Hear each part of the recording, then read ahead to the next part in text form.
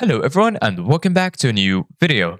In this video, I'm gonna show you guys how to fix Twitter verification code not received.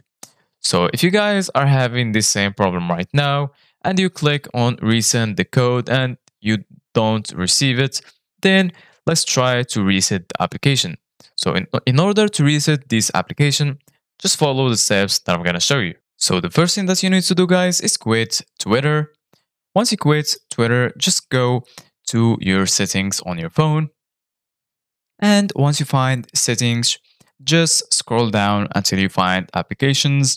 It might be different depending on your phone.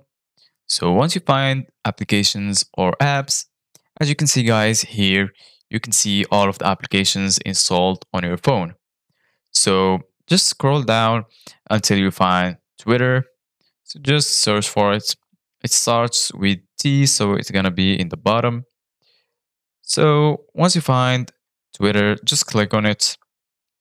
And as you can see, guys, from here, we can change all of the settings related to this application.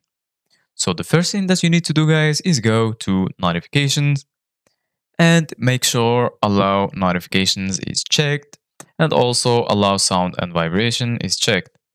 Once you allow notifications on Twitter, just go back and then go to permissions and make sure you give Twitter those permissions, which is camera, microphone, and notifications.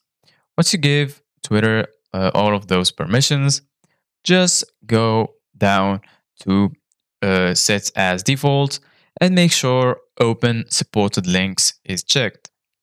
And once you check open supported links, just go back and then scroll down until you find storage and then just click on storage. And from here, you can see the uh, data of your application and also your cache. In the bottom, you're gonna find clear data and also clear cache. So what you need to do guys is click on clear cache.